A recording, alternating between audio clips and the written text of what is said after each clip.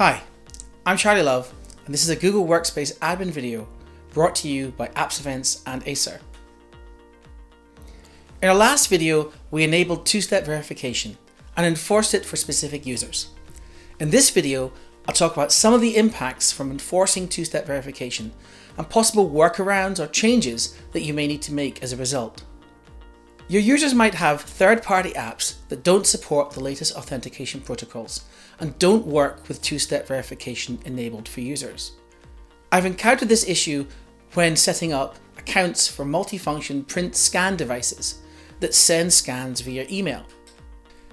If a user sees a password incorrect error when trying to sign in to an app that doesn't support the latest protocols, an app password could solve the problem. App passwords give apps permission to access a Google account without the user divulging their Google password to the app. And app passwords bypass two step verification, which is a pretty big risk to your data. App passwords are discouraged. It's better to install more secure apps that use modern authentication protocols. However, if some of your users have legacy apps that they absolutely must use, then you will need to use app passwords. You'll need to allow users to access less secure apps, and then your users can sign in using an app password. If you're using the enforced security keys setting, then this disables app passwords. You can't require users to use a security key for two-step verification and also let them use app passwords to sign into legacy apps. If you enforce security keys as a two-step verification method for your users, your company has security requirements that you really don't want to circumvent. If you're using a third-party IDP to authenticate users for accessing Google products and single sign-on is enabled for your top-level organization, by default, Google's two-step verification doesn't apply when users sign in through that SSO service you can set a policy to use post SSO verification, which will make use of two-step verification. In the admin console, go to Menu, Security, Authentication, Login Challenges.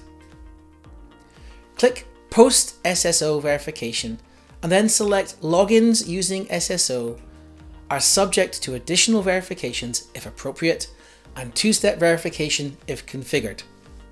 Click Save. Super administrators don't use SSO when signing in.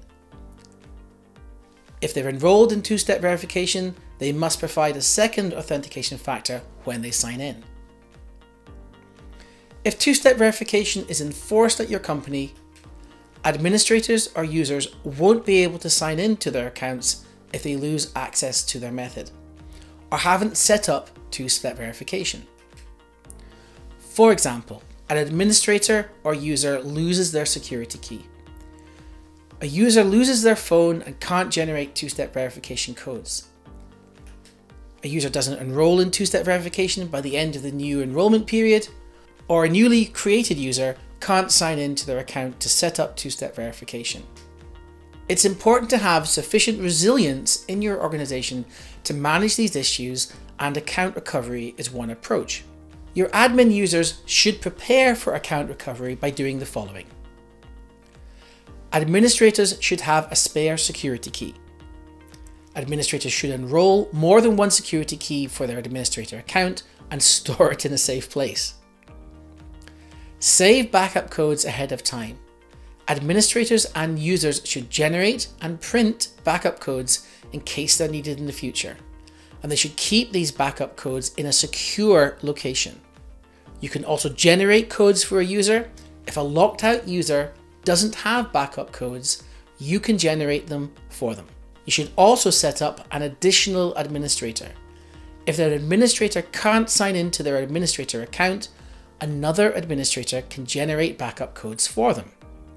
If security keys are going to be required, make sure to set up a grace period.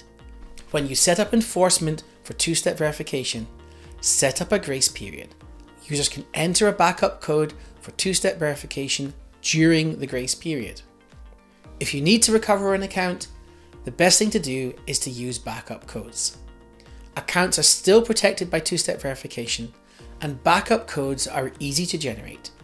If you move users into a configuration group or change their organizational unit so that two-step verification isn't required, their accounts are no longer protected by two-step verification. So the best thing to do is to use backup codes rather than change the user's policy settings. To generate backup verification codes for a user, in the admin console, go to Menu, Directory, Users. Find and select the required user. Click Security. Click Two-Step Verification. Click Get Backup Verification Codes. Copy one of the verification codes and then send the backup code to the user, ideally through an encrypted messaging service. The user can then sign into their account using a password and the backup code. The same process works for admin accounts, so admins who need an account to be recovered can ask another admin to do this for them. So there you have it, something to consider when setting up two-step verification, and how, as an administrator, you can ensure that you and your users can make use of account recovery if it's needed. I'm Charlie Love, and this Google Workspace admin video has been brought to you by Apps Events and Acer.